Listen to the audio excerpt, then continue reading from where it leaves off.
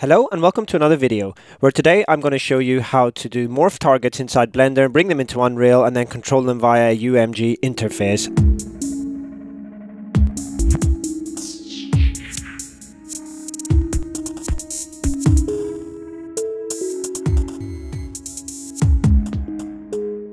Now the meshes we're using are off this fantastic website 3D Scan Store and they're giving them away free at the moment so they're really really useful assets. I've been following this website for a number of years and for them to give this away is unbelievable, very generous and you can do some great stuff with this if you wrap your own geometry onto this or follow some of the tutorials on there and take it a bit further than this. I'm just going to download the OBJ for this. You've got to register yeah, your email address and name, subscribe and download and I'm just downloading the OBJs. So straight into Blender I'm going to select all by pressing A X to delete everything. And then I'm going to go in here and just do a file import of the OBJ files that I want to use for my morph targets.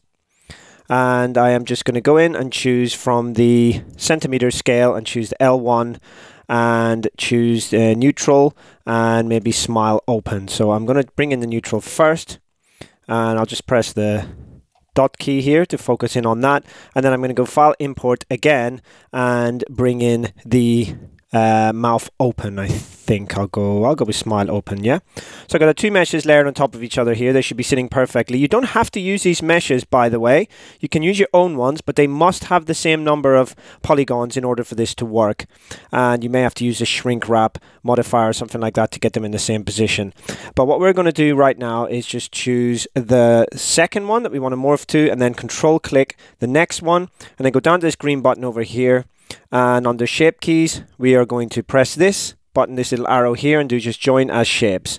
And that's all we need to do here, really. Pay attention to this uh, 06 smile open, because we're going to need that in Unreal later on. So what I'm going to do is just going to hide that one, and just double check that this has worked by going into the smile open here and moving this slider between 1 and 0. Excellent. We have a morph target set up inside Blender. So I'm just going to go in and export this. File, export, FBX and I'm just going to give it a quick name. And I'm just going to go with selected objects here and under geometry I'm going to go with face. Export and then straight into Unreal. I'm going to launch 4.27.2 but you can do this in any version of Unreal. And I'm just going to choose the blank template from here. So once this is up and running I'm going to go to import to game and I'm going to import that FBX and there's a few things to take note of here. I have to tick this skeletal mesh button.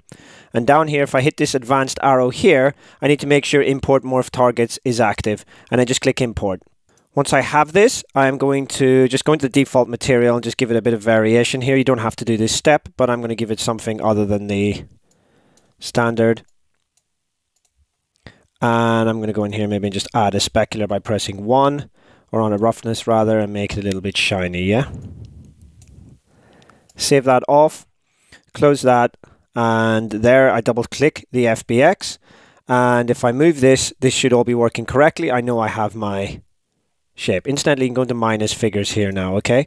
I'm going to go into zero, and I am going to just minimize this for now, and I am going to drag my geometry in here.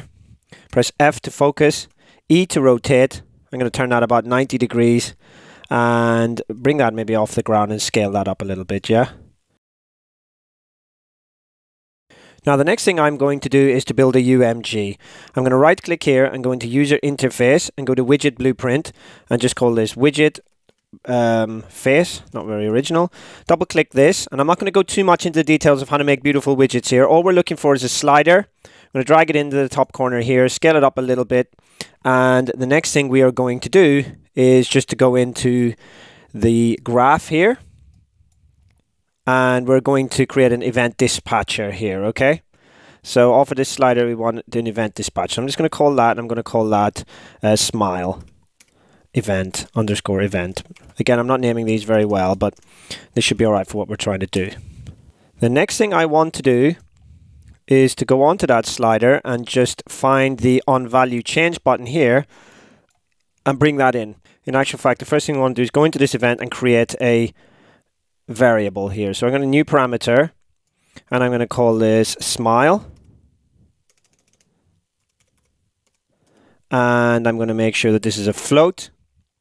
I'm going to compile and save at this stage and grab that event in again, straight into the thing here, and I'm going to do a call. And what I want is to connect this to this and that to that. That's all we're going to do for now. Compile and save. And the rest of this we're going to call from the level blueprint, which is not great practice, but uh, in this case, it's a very simple example, and we're going to do everything from the level blueprint. But you might want to connect this to the character, game mode, whatever else, to if you want to make this scalable in the future. So I got blueprints here, open level blueprint, and from here we want to basically, the first thing we want to be able to do is to bring this menu up. So I'm going to look for a input key to do this with. I'm just going to use keyboard event in here, right click, and choose the zero key. And from here, I'm going to search for widget, create widget.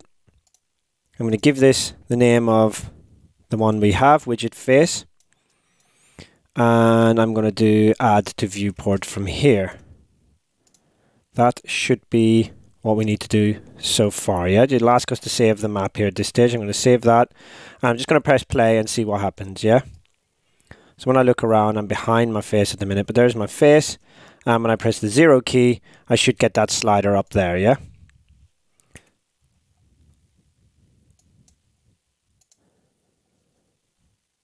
The next thing I want to do is to get mouse control whenever I click that slider. Otherwise, I'm just going to be moving my character around.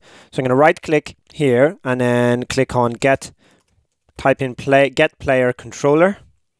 And from this, I'm going to bring in a set mouse. And what we're looking for, sorry, I'm going to do set show mouse cursor. Set show mouse cursor. This has to come off your player controller. And I'm going to make sure that's on whenever I'm pressing my zero key like that. And from this, I can actually do a flip flop, which means whenever I press it again, I can remove the widget. So I'm just going to right click here and do a flip flop and reconnect this into the flip flop by control clicking. Bring that into the A. So it creates it the first time we press zero. And on the B, we want to remove it. So from here, from the widget, I'm going to pull from there and go to remove from parent. I'm going to connect that into the B. And from here, we can do control W to duplicate this. Plug this one into here.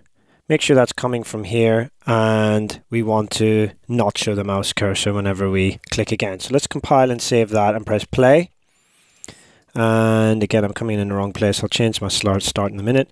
There's my character. I press zero. I click on the screen. I have control of that slider. I press zero again and I've lost the slider and I've lost control of my mouse. That's exactly what I want for this basic example. Press escape to stop there.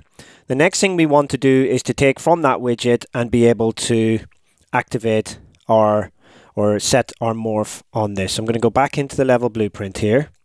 This is not very tidy at this stage. If I just grab these and press Q and grab these and press Q, I can probably try to straighten this up a little bit, make it a little bit neater maybe do a comment here, right click, create comment.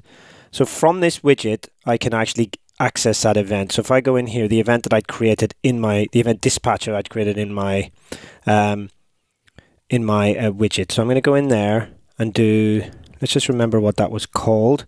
It was called smile event. If I call from here and then just type in smile event, bind event to smile event is what we want. Smile event was what we called our event in our widget. And by binding an event to it, I'm going to show you what we can do. So we want to pull this when the widget is active. So we're going to go in there. And then from this one, we're going to pull down and do a add custom event. I've just typed custom there, yeah? I'm not too fussed what I'm going to call this now, but if you want to make this scalable, you might want to make give this a bit more of a meaning here, yeah? Next, what I'm going to need is a reference to that mesh because that's what we're going to change with this custom event. So I'm going to just bring this window down a little bit, make sure I'm click collect on my mesh. And the best thing about the level blueprint is we can reference this easily. So if I right click here, I can create a reference to that. And from here, I want to set morph. Set morph target is what we're looking for. And the thing we got to get in here is the correct name for our morph target. So if I go into face morph here and remember that smile open is what I want, I'm just going to right click that and click on copy names and go back in here and paste that in here. And the next thing I'm going to do is just make sure I map this to here and the value of smile, which is coming from our slider from that event dispatcher in our widget to the value of the morph target. Okay. Now, if you've not used Unreal before, this might be a little bit complicated, but just do it the way I'm doing it for now, and it'll start to make a little bit of sense. Yeah? Let's make that a little bit bigger so you can see it.